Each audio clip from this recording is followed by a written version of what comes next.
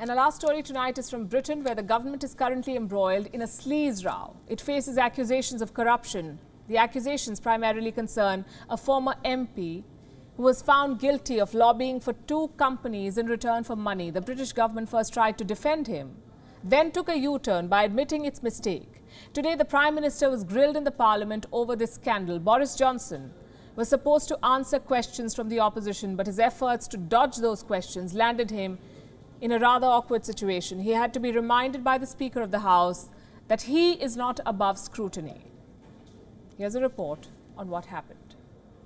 Prime Minister, sit down. Prime Minister, I'm not going to be challenged. You may be the Prime Minister of this country, but in this House, I'm in charge, and we're going to carry on. It was an unusual sight.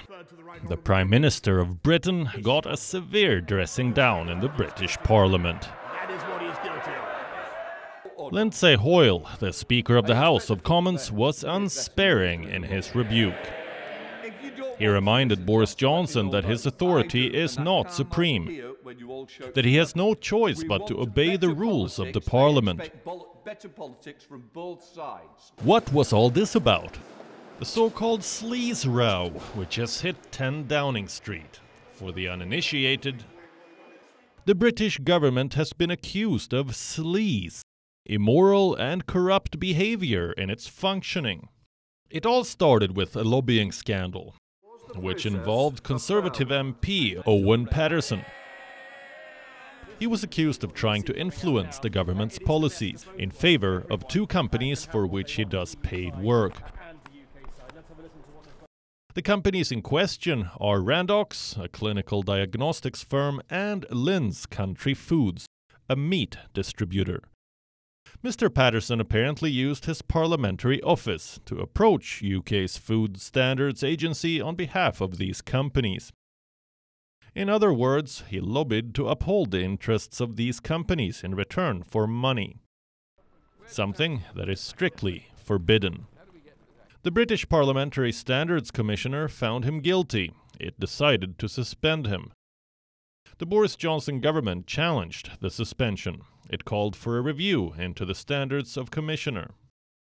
And then it took a humiliating U turn by ditching all such efforts and admitting it was at fault. The MP in question has resigned. The Prime Minister has been left to deal with the opposition's ire. On Wednesday, he was subjected to a fierce parliamentary grilling over the scandal. Leading the charge was Keir Starmer, the newly appointed chief of UK's Labour Party. We still haven't shut the door on the revolving door where ministers are regulating a company one minute and working for them the next. There are plenty of cases that still stain this House. There are two simple steps to sorting it out proper independence and powers for the Business Appointments Committee and banning these job swaps. Will the Prime Minister take those steps? The Prime Minister was on the defensive throughout. Instead of answering questions on his MP's conduct, he repeatedly tried to question the opposition leader over his past actions, which he said amounted to sleaze as well.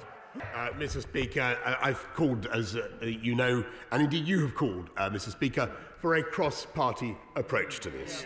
And what I think we need, what I, what I think we need to, to do is to work together on the basis of the independent report uh, by the Committee of Standards in Public Life uh, to take things forward and, and indeed to address the appeals process. But what I think everybody can see, Mr. Speaker, is that in a classic, lawyerly way, uh, the right honourable gentleman is now uh, trying to prosecute others for exactly the course of action that he took himself. And, I think that what I think the nation wants to know, because his register is incomplete, who paid who paid Mishcon de Reya and who paid the twenty-five thousand? Who's paying him for his?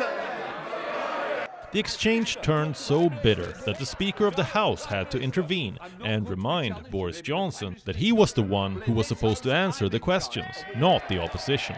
Prime Minister, I don't want to fall out about it. I've made it very clear. It is Prime Minister's questions. It's not for the opposition to answer your question. Uh, whether we like it or not, those are the rules of the game that we're all into, and we play by the rules, don't we? And we respect this House, so let's respect the House. This dramatic intervention is dominating headlines. It shows that Boris Johnson won't have an easy exit from the sleaze row mess. A member of his party has been accused of corruption.